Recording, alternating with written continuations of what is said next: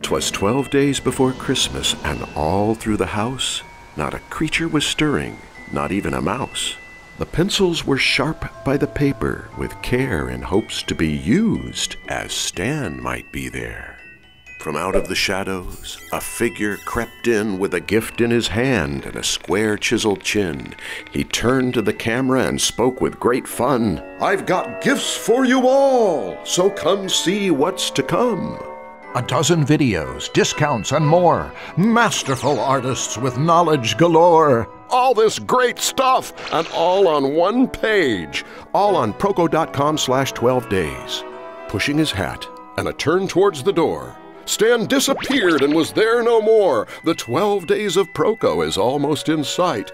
Happy holidays to all, and to all a good night.